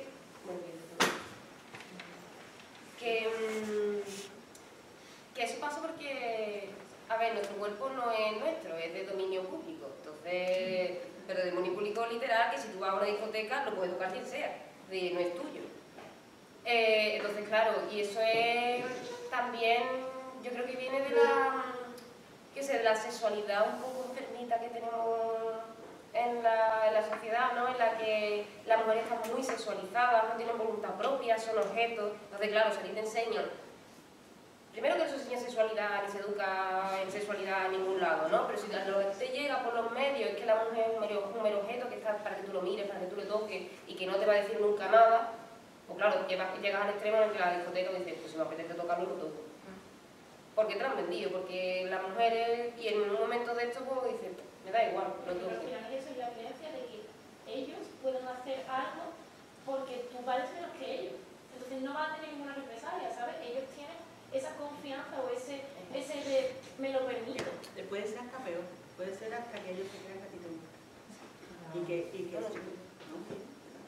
Una amiga mía le contestó a uno que la- en el autobús le dijo ella, digo, lo estaba tocando y tal, y digo ella, eh, no sé cuánto, y se enfrentó con él. Anda niña, que eso es lo que, gusta, a ti es lo que te gusta. Y le contestó ella, dice, me gustaría con otro que sea más guapo que usted, Pero no se puede jugar eso. A eso no se puede jugar porque entramos en el mismo juego, eso es un juego feo. Es, a lo mejor que ellos mismos se den cuenta que... Pero bueno, yo me voy a tener que ir, ya digo, porque tengo a mi niño de 50, y- de 50 años esperándome, pero mm, me alegro mucho de haber estado con vosotros y si tenéis soluciones, o ideas o algo, ponerlas en marcha, a reuniros y comentar y las cosas que podáis mm, hacer juntos o las ideas que tengáis, mm, ponerlas en marcha, porque eso es lo que yo veo, o sea, la concienciación está ahí y yo creo que, que es verdad, o sea, que, hemos avanzado en eso mucho. La cuestión es cómo solucionamos esa gente. Mira, espera que se muere. Los compañeros, sí, cuando se mueran ya todo. Los vuestros compañeros que lo hacen. Es decir, ¿tú, tú dejarías que esto se lo hicieran a tu madre o a tu hermana? ¿Te importaría? Pero que me estás diciendo, pero sin entrar en, en- y pensar en cosas de verdad, o sea, en las carreras y todo eso, echar para adelante, no, no echar para atrás porque, porque seáis mujeres o, o, creáis, ¿no? No sois, no sois peores que nadie. Muchas veces, a veces rechazáis por responsabilidad, rechazáis puestos, dices, no, delegada del curso. Uy, ¿por qué por responsabilidad de delegada del curso? Yo delegada. Pues si te han elegido no es porque eres buena. Y no dice, no, no, no, no. Terminas diciendo que no. Y cuando se, da, da pal- se, echa para adelante un, chaval de vuestro mismo curso, "Ay, este, yo que soy mucho más inteligente, ¿no? Que él. Hay veces que pasa eso y empieza igual. Pues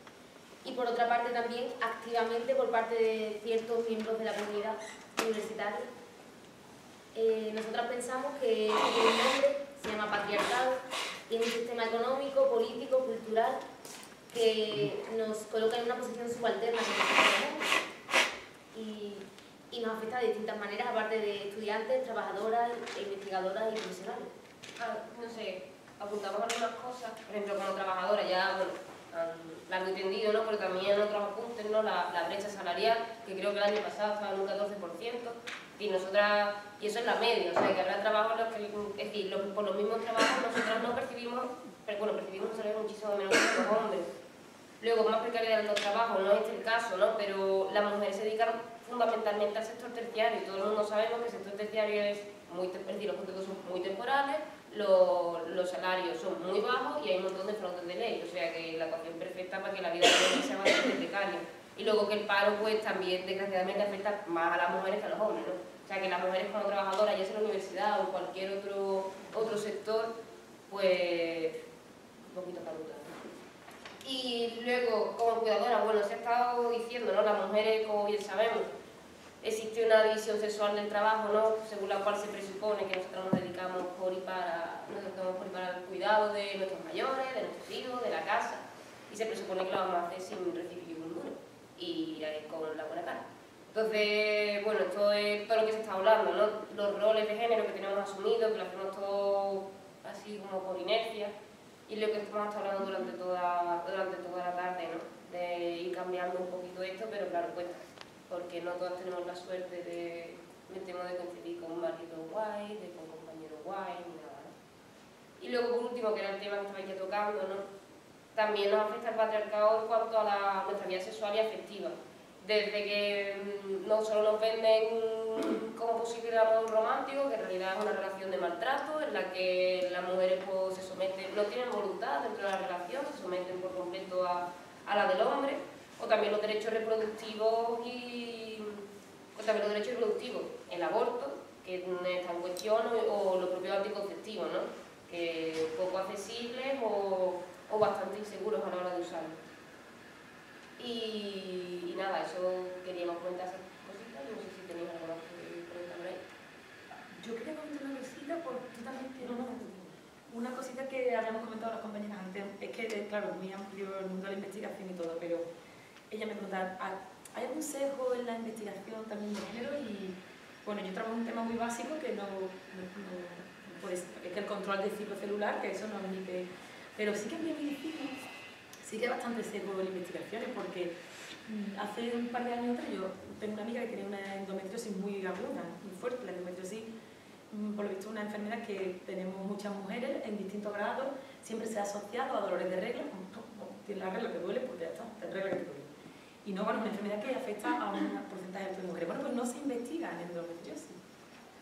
La investigación es muy escasa, ahora, se, empezado, se llama, de hecho, se llama la enfermedad silenciosa. Y hay un documental muy, muy bueno por ahí por las redes que habla de ella y es, la verdad es que es estremecedor. Pues no, hay, no se dedican fondos a investigar la endometriosis. Y ahora que me toca también muy cerca por mi madre, la fibromialgia, que también es una enfermedad que padecen muchas, muchas mujeres, pero también se asocia pues a la edad, o se asocia a la actividad física, igual que la otra las reglas, a la condición de mujer, básicamente. Y tampoco sabemos todavía cuáles son las fases de esa enfermedad, cómo paliarla, etc. Entonces, sí que la investigación, además de todo eso, tiene un ser de que es muy importante. Ya, ya habéis oído hablar que los medicamentos están diseñados para hombres nada más y que tal y todo. No, pues, que se investiga, también tampoco lo decidimos nosotros. ¿no? ¿A qué se dedican los fondos mi investigación. Quería señalar eso y lo que he comentado antes también rápidamente, que la universidad, además de que hay brecha salarial y todo eso, hay brecha salarial porque depende de unos complementos que te dan por productividad. Y si no tienes tiempo para producir o tienes menos tiempo, pues entonces tienes menos complementos. Eso es así también. Pero que ha habido casos de acoso sexual, que son, vosotras sois muy jóvenes y vosotros, pero hace un par de años, el de magisterio, ¿no? Fue, ha sido muy, en la prensa porque ha sido, ese ha sido el, digamos, el más escandaloso, ¿no? que, había, que era un director de departamento que llevaba acosando a mujeres sexualmente. El acoso sexual es la punta del iceberg del acoso laboral. Si hay acoso sexual es que ha habido acoso laboral, seguro, y de hecho ese hombre acosaba no solo sexualmente, sino laboralmente a todo el mundo, sexualmente, sexualmente a las mujeres.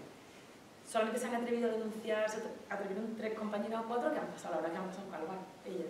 Pero gracias a eso se ha puesto de manifiesto que también existe acoso sexual. O sea que nosotras tenemos que luchar desde muchos frentes. Hay muchas cosas que nos afectan. Y hablo de la universidad en concreto, ya lo que han, de lo que han hablado las compañeras como, como mujer y como fuera de la universidad, pues tendríamos que seguir hablando, la verdad.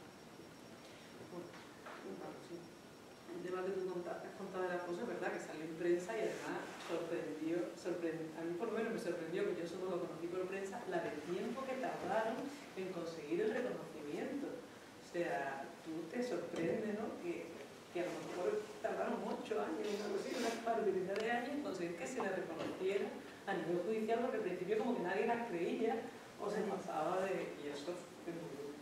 La sí. Las alejaron a ellas, ¿no? Cuando se ya entra, eh, a ellas son las que echan de la universidad, bueno, ahí separan del ambiente, bueno, ahí ha sido, ha sido todo, y no es, y ese caso no, sabemos que no es el único, lo que pasa es que nadie sabe, por la propia dinámica. creo que ahí sí que hay que animar a que todo el que tenga de algo, porque no se calle, ¿no? Que durante mucho tiempo te dicen, no, es que ahora parece que pasan más cosas, no, es que ahora se dicen cosas, que a lo mejor antes, ¿no? La gente lo que hacía es que se callaba porque le daba miedo o denunciar.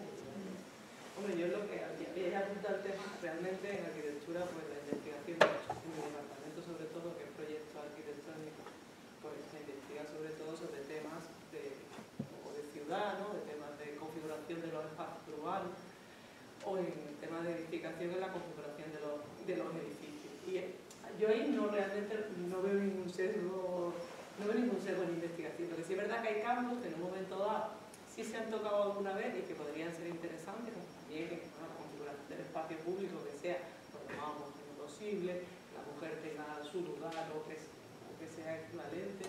Y en el tema doméstico sí es verdad que ha habido hace años, ¿no? de hecho lo empezaron las americanas como a principio de, siglo, ¿no?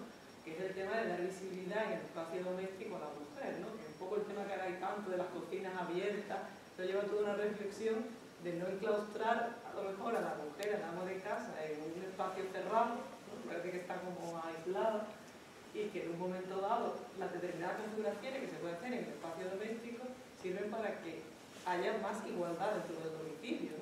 Porque cuando tú estás cocinando al lado donde está la gente sentada ya no está apartado y se puede producir pues, un diálogo, una interacción, o sea que sí realmente hay formas de conseguir mejorar lo que es la, relación familiar a través de la arquitectura. Si algo se puede aportar, pues a, a quien hacerlo. Creo que todos podemos ir, de todos los campos se puede buscar el tema de borrar ese error que hay deberíamos de intentar conseguir. Yo creo que además ellos tienen que, no han dicho ninguno nada, eso que hemos dicho de que ellos son como que hoy están todos callados. Me gustaría que no alguno. No, yo para hablar sobre acoso sexual, pero nada. quiero decir que, que es ejemplo de que la Universidad de Sevilla todo menos feminista, ¿no? O sea, ha visibilizado un caso, no lo ha recuperado, no ha, quiero decir, no ha recondicionado, ¿no? La ha eliminado los cautos democráticos y nada, hasta el punto de que no hemos recuperado ese caso, no hemos sabido nada más. Nosotras tampoco hemos sabido recuperar esos casos para la de Lucha Marta, ni la pasado ni esta, que a lo mejor también deberíamos hacer. Quiero decir, como que feminista la universidad es un poco autocrítica en el sentido de recuperar esos casos y también una crítica a la universidad porque ella no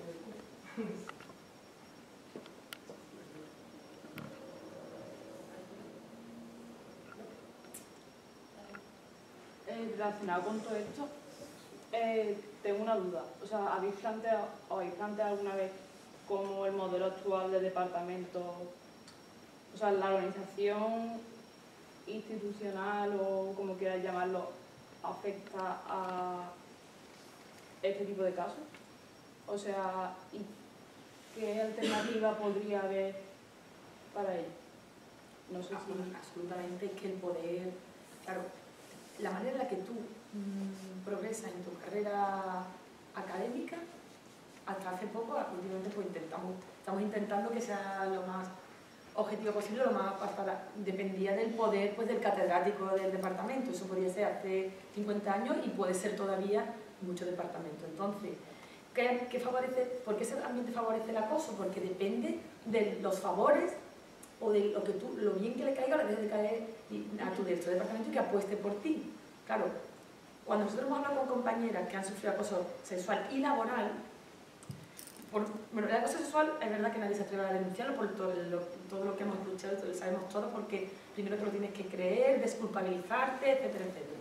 Pero el acoso laboral lo hemos aceptado, hombres y mujeres de una cierta medida, por la estructura piramidal y por la necesidad que tenemos de ese reconocimiento de la persona que está arriba.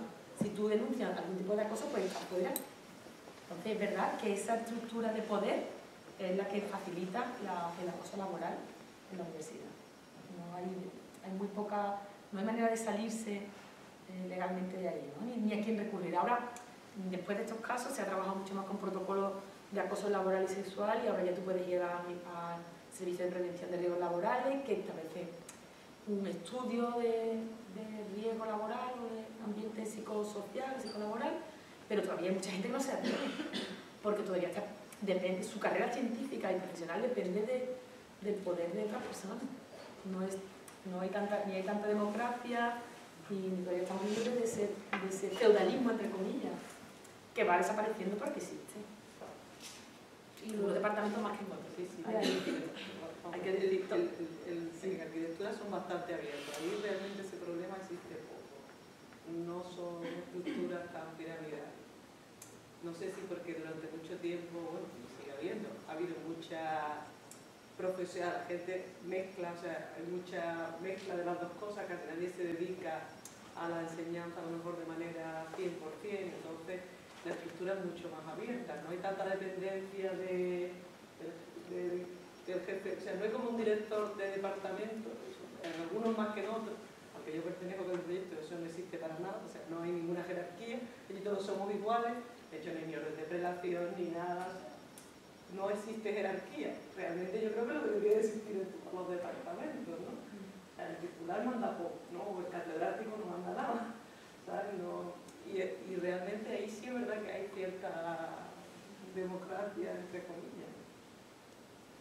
Es verdad que son casos raros. Yo sé que también es un departamento muy grande, que somos 70 profesores, con lo cual es muy difícil.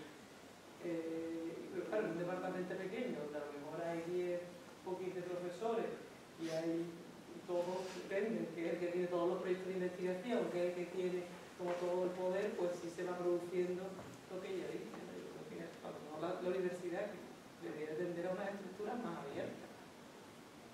Vamos, yo creo que está en el camino, pero que hay algunos casos que, que, se, son espeluznantes, vamos, que te lo cuenten y te crees que está en el siglo pasado. Sí, sí, sí, no, lo ves, yo cuando hecho proyectos como, de, como otros departamentos, si tú ves un trato además como de, o sea, la persona que es la, la que se le trató casi como con devoción, ¿no? Casi arrodillándose ante el señor catedrático como en época de, de hace 100 años, ¿no?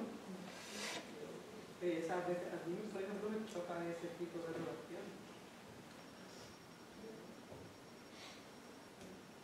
¿Alguien? Ah. Y otra cosa que es que estuve en una charla sobre pues, que hablaban sobre el protocolo de prevención de la universidad y todo esto y me chocó mucho porque el, el hombre que lo daba, que no sé, supongo que será un puesto de, no sé si es director o como sea, recalcó mucho que la mayoría de los acosos que se denuncian como sexuales acaban siendo laborales. Y como, o sea, me chocó en el sentido de que sí, o sea, porque no lo justificas, es laboral. Porque está claro que hay una, que se ejerce una, o sea, una presión, o sea, una, una- un poder cuando tiene cargos superiores además, pero so- normalmente es de hombre sobre mujer y eso es algo que se ve, vamos. porque hay casos. A mí lo que me bueno, después del tratamiento que han recibido compañeras de acoso laboral y todo eso, que lo primero que hacen es poner en duda lo que tú estás diciendo. El servicio de prevención de riesgos laborales, eso lo digo donde sea, pues ya se lo he dicho a ellos, vamos. Primero eso, primero pone la culpa, la culpa tiene ella, en el caso también ha habido compañeras acosadas. Y lo que me sorprende cuando se difunde el protocolo, lo primero que hacen es explicarte lo que no es acoso. Dicen, bueno, no es acoso esto, esto, esto, vamos a ver. Eso también lo dice el Consejo de Gobierno. Eh, ya, lo que no es acoso no me lo diga, ¿qué quiere? ¿Que no denuncie? O sea, ¿qué me está diciendo? ¿Que no vaya? No, no, lo- hincapié en lo que no es acoso, efectivamente. Es muy difícil demostrar el acoso, legalmente el acoso laboral y los dos, y el sexual es muy difícil, pero hay que, denunciar. Y ya digo que todas las estructuras, porque es que si, si acusas a alguien de acoso te puede volver a acusar a ti. Bueno, yo prefiero equivocarme, la verdad, ¿no? Que sería el principio de precaución, pero para el otro lado, ¿no? No para el de la, el de la víctima. Eh, ahí hay que pelear también mucho. Y, y también decirle a todas las compañeras desde el comité de empresa se intenta hacer mm, campaña porque se, la gente denuncie y se, atreva a decir lo que está pasando. Nosotros, a través del proselitismo del SAT, teníamos un, hemos tenido un comunicado, no sé si lo pero que, bueno, por supuesto una lista pirata, porque en la universidad no te dejan comunicarte con tu con, con todas las plantillas, ni incluso al comité de empresa. Entonces tuvimos que piratear, hacer una lista pirata. Como yo lo sabía también. Entonces teníamos un hilo que se llama la punta del iceberg. Entonces intentábamos que compañeras, y compañeros también, pero sobre todo compañeras, escribieran su experiencia y era anónimo. Entonces cada, cada X tiempo mandábamos una punta del iceberg y la gente contaba cosas, no sé si la habéis tenido ocasión de leer, mm, espeluznante. Y eso, bueno, pues te tienes que atrever, es, du- es duro, es difícil, pero tienes que atreverte a dar el paso también de, de denunciarlo a, los- a las autoridades, aun sabiendo que lo primero que van a hacer es cuestionarte, que eso es lo más terrible. Pero bueno, ahí está. ¿Alguien quiere añadir? Pues no, eh, Quería añadir que nosotras, bueno, no he explicado lo que es el MAE, no sé si alguien no lo sabe, pero. Eh, somos una organización estudiantil que, cuya acción se enmarca en la reivindicación de una universidad pública, gratuita, universal, eh, laica, feminista y de calidad. y, y nosotras, mm, por todas las razones que ya hemos hablado, pues llamamos a la huelga de mañana, del 8 de Así que, adiós.